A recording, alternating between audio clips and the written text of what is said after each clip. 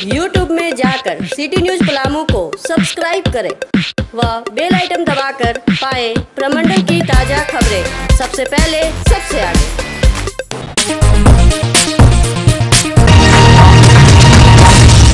कस्तूरबा आवासीय विद्यालय के औचक निरीक्षण क्रम में लातेहार जिला विश्वसूत्री उपाध्यक्ष राजधानी यादव आज बालूमाथ प्रखंड में पहुँचे।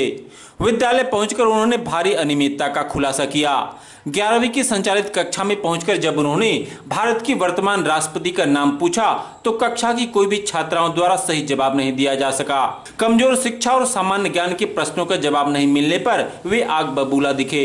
वहीं खान पान की सूची में आज तड़का के साथ फ्राइड राइस परोसे जाने की जगह घटिया क्वालिटी की दाल और राशन की चावल देख भी वे भड़क उठे। उन्होंने इस पर वार्डन को कड़ी फटकार लगाई।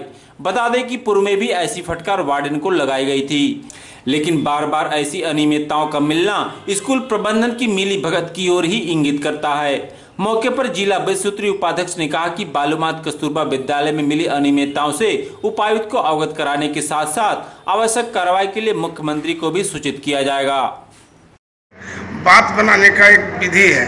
कहने का मतलब गुणवत्ता युक्त पढ़ाई तो है ही नहीं यहाँ पर। सरकार जितने भी रुपया खर्चा कर रही है, इन लोग निरस्त कर रहा है रुपया को।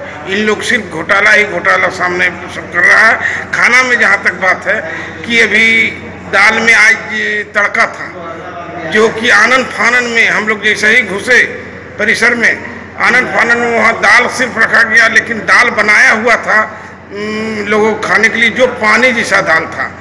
और दाल में भी कीड़ा था, भुना हुआ दाल था।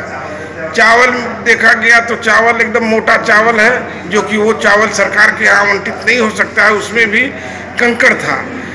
मैंने खाने का मतलब है क्लास इलेवन की छात्र हैं जो बेसिक सवालों के जवाब नहीं दे पाई हैं। ये उन लोग सच पूछिए तो बाहर में जो पढ़ाई होती है वो पहला से लेकर दूसरा क्लास के बच्चे लोग जवाब दे देते कि हुई प्राइम मिनिस्टर ऑफ़ इंडिया हुई प्रेसिडेंट ऑफ़ इंडिया हुई सीएम ऑफ़ आवर स्टेट इसका भी जवाब न दे पाना।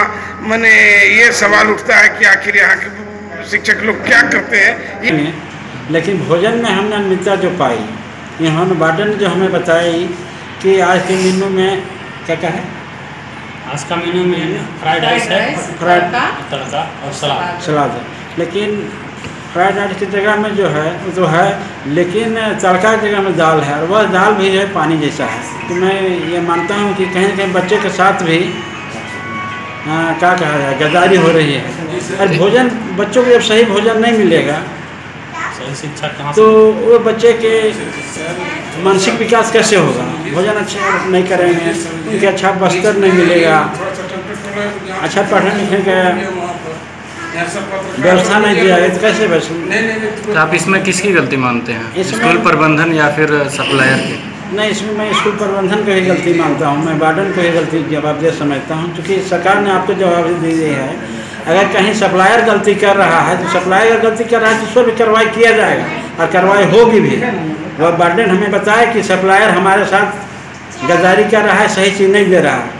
तो इस विषय में वार्डन को ही बताना होगा कि सप्लायर हमको सही सामान नहीं दे रहा है। क्योंकि हमने दाल में देखा, दाल में घून लगा हुआ है, दाल में कीड़ी लगे हुए हैं, चावल में कंकड़ है, चावल मोटा है तो अरे सरकार इतनी खर्चा कर रही है। झारखंड सरकार चाहती है, मुख्यमंत्री जी चाहते हैं हमारे झारखंड के बेटी, कस्तूरबा विद्यालय में पढ़ने वाली बेटी, गरीब के बेटी का जो है अच्छा से उनको शिक्षा मिले अच्छा दीक्षा मिले अच्छा भोजन मिले।